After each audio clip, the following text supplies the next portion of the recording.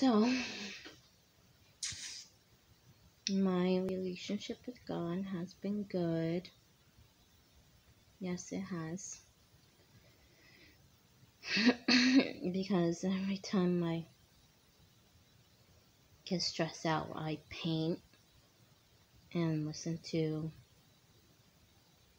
um, sermons on Spotify whenever I paint because it's relaxing. Um, I've been listening to right now that I have been while I've been painting um, Vertical Church podcast, and it, it's really good message, really they're really good messages to listen to. Really, it is.